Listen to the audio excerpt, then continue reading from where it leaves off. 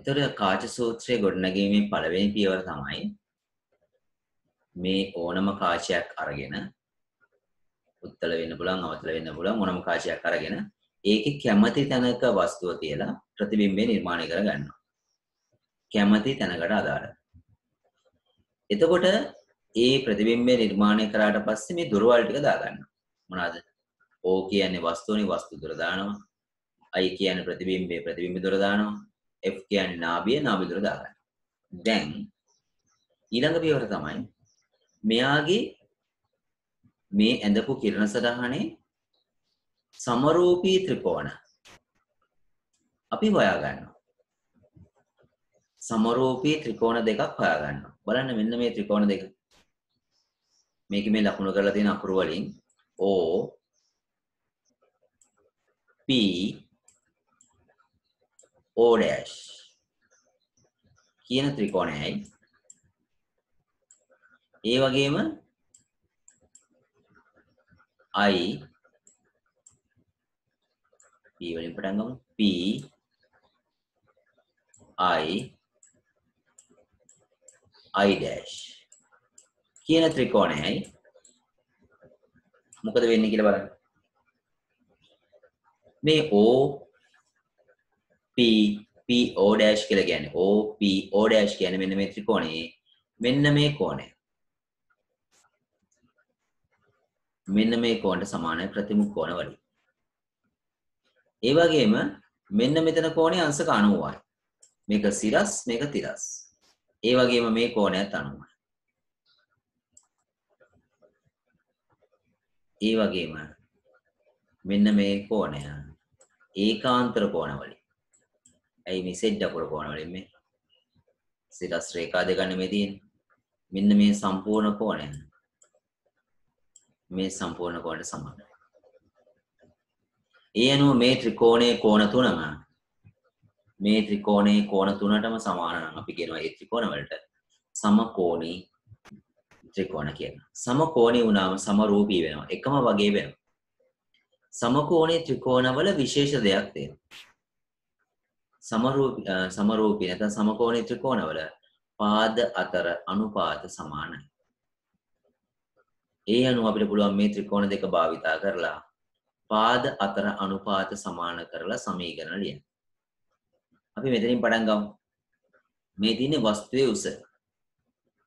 O O dash O O dash වස්තුවේ උස. ඒක අපි බෙදනවා අනිත් ත්‍රිකෝණේ ඒකට දාලා උසෙන්. මේ තිතර ඉස්සරහා තියෙන පාදය තමයි O dash කියන්නේ.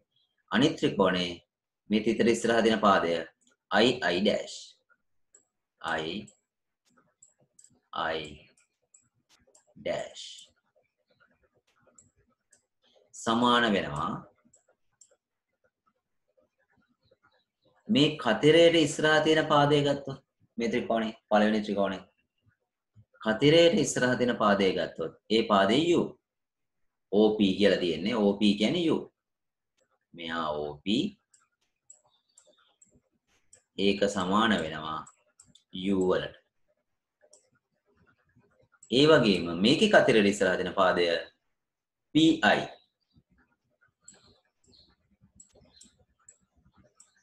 නැත්නම් IP. ඒ කියන්නේ මොකක්ද? PI කියලා කියන්නේ V. ප්‍රතිබිම්බ දුර. ඔන්න ඔහම සම්බන්ධයක් අපිට ලැබෙනවා. මේ සම්බන්ධය අපි එක කියලා දාලා තියාගන්න. ඊළඟට අපි හොයනවා තවත් ත්‍රිකෝණ දෙකක්. ඒ ත්‍රිකෝණ දෙකත් සමරූපී ත්‍රිකෝණ දෙකක්. බලන්න එහෙම ත්‍රිකෝණ දෙකක් හොයා ගන්න පුළුවන්. එක ත්‍රිකෝණයක් තමයි හොඳට බැලුවොත් මේකේ තියෙනවා හොයාගන්න P F Q ත්‍රිකෝණය සමරූපී වෙනවා. කාටද? F. I. I dash ත්‍රිකෝණය. බලන්න. මෙන්න මේ ත්‍රිකෝණ දෙක සමරූපී. ඇයි? මෙන්න මෙතන කෝණය මේ කෝණයට සමානයි. මෙතන කෝණය 90යි මේ කෝණෙත් 90යි. ඒ අනුව මෙන්න මේ කෝණය. මෙතෙන් ඉඳන් මෙතනට කෝණය. මෙන්න මේ කෝණයට සමාන ඒකාන්තර කෝණ වලින් සෙට් අකුරෙන් ඒ අනුව මේ ත්‍රිකෝණ දෙක සමරූපී. එහෙනම් ඒකෙත් පුළුවන් පාදාතර අනුපාත සමාන කරන්න. මේ පාදාතර අනුපාත සමාන කරනකොට QP තියෙනවා මෙතන. අපි ලියනවා මේකේ QP QP කියන්නේ මේ ලකුණු කරපු මෙන්න මෙහෙම ලකුණු කරපු ඡාපයක් ඇඳලා ලකුණු කරපු කෝණයට ඉස්සරහ තියෙන පාදය. ඒ වගේ මේකේ ඡාපයේ ඉස්සරහ තියෙන පාදය i i dash. I i dash. සමානයි. මොකටද? අපිට පුළුවන් ඊට පස්සේ ගන්න මේ හරියට ඉස්සරහා දෙන පාදය. මේකේ pi pf මේ කියනවා pf බෙදීම. මේකේ හරියට ඉස්සරහා දෙන පාදය fi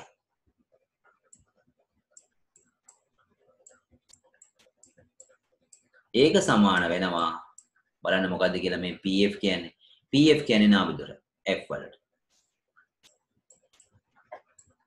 ඒ වගේම fi කියන්නේ fi කියන්නේ මෙන්න මේ දුර. මේ දුර හොයා ගන්න ඕන. මේ ඔක්කොම v මේක f නම් ඒ දෙක අඩු කරාම එනවා. මෙන්න මේ පරතරය v ඍණ f කියලා.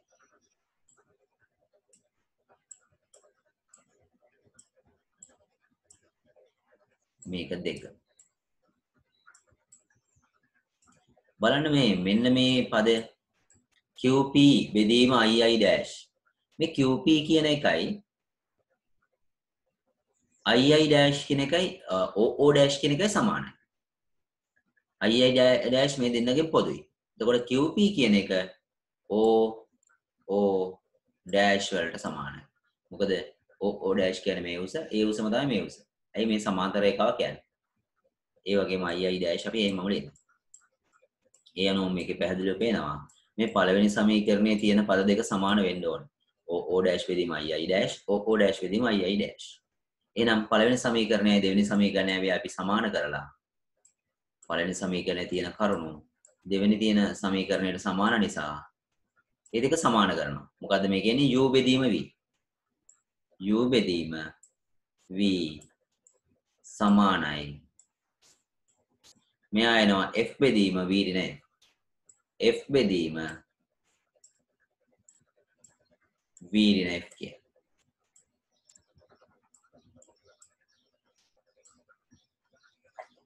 Right දැන් අපි මේක හරහට ගුණ කරනවා. හරස් ගුණිතය දානවා. ගුණ කරාම UV U වලින් වැඩි වෙන පද දෙකම UF සමානයි VF ඊට පස්සේ මේ හැම පදයම මේක එක රටාවකට ලියා ගන්න ඕන නිසා UVF වලින් බෙදෙනවා. UV බෙදෙනවා UVF වලින්. UF උත් බෙදෙනවා UVF වලින්. VF උත් බෙදෙනවා U V F වලින් මෙහෙම බෙදුවම මේකේ UV UV කැපිලා ගිහිලා එනවා. එක බෙදීම F. ඍණ මේකේ UF UF කැපිලා ගිහිලා එනවා. එක බෙදීම V. මේකේ එනවා VF VF කැපිලා ගිහිලා එක බෙදීම U. ඊට පස්සේ අපි මේ නාබිදුර විතරක් තියෙන විදිහට එක පැත්තක උක්ත කරගන්නවා යාව. මෙයාව අනිත් පැත්තට ගෙනින්න. එතන එනවා එක බෙදීම v ධන එක බෙදීම u සමානයි. එක බෙදීම f කියලා.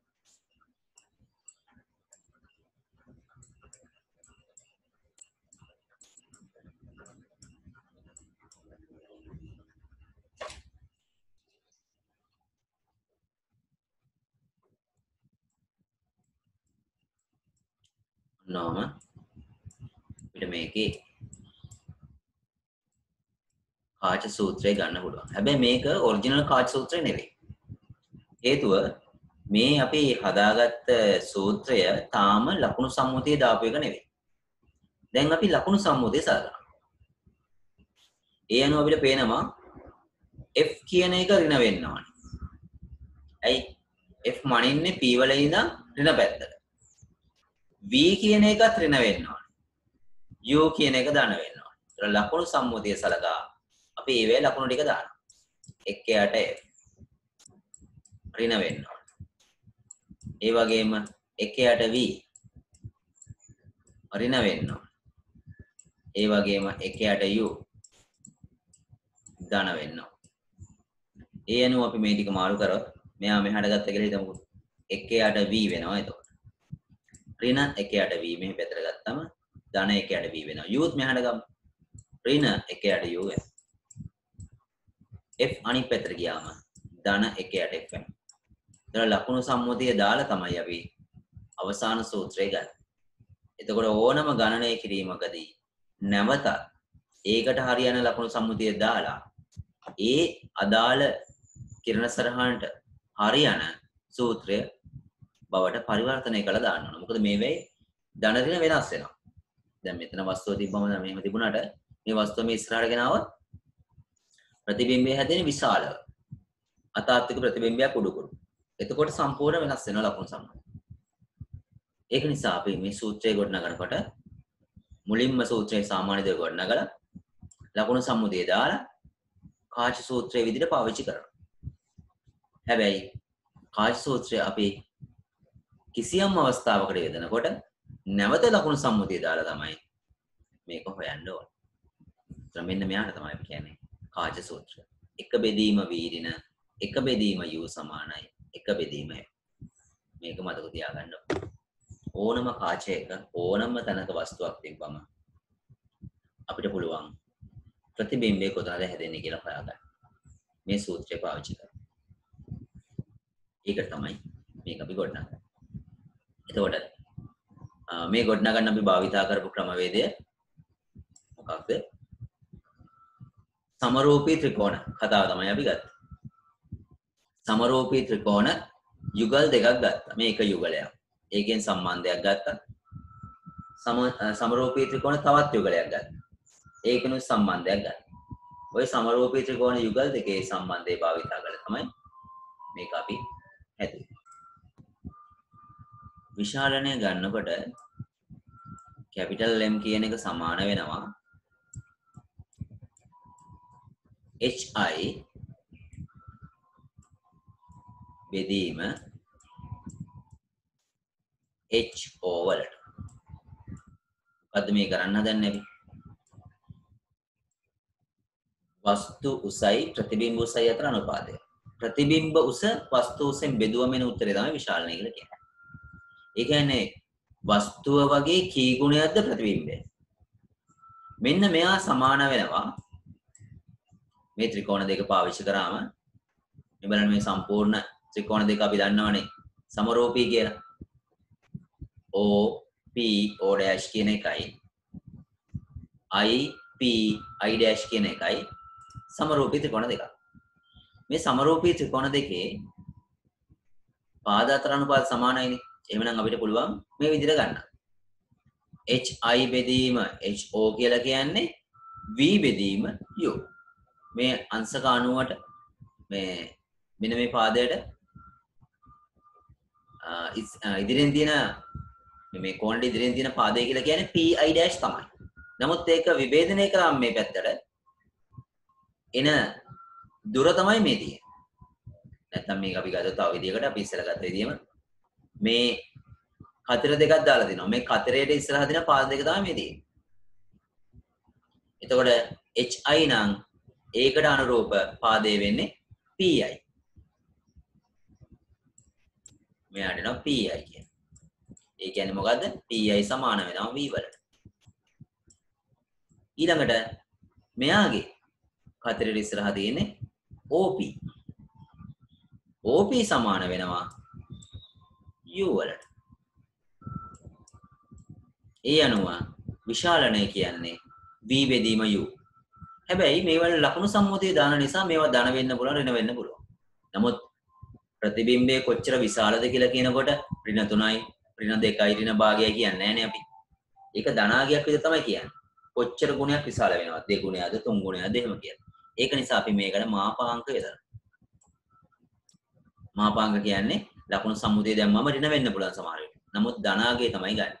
ඒක විශාලනය කියලා කියන්නේ v බෙදීම u වල මාපාංගය කියලා අපි ගන්න. ඔන්න ඔහොම තමයි අපි කාජ සූත්‍රය ගොඩනගනකොට එකයට වීර්යන එකයට u සමාන එකයට f කියලා. ඒ වගේම විශාලනය සඳහා සමීකරණයක් හදනකොට මේ කාච සූත්‍රයට අදාළ දේවල් නැත්තම් මේ කාචයේ කිරණ සටහන පාවිච්චි කරන්න.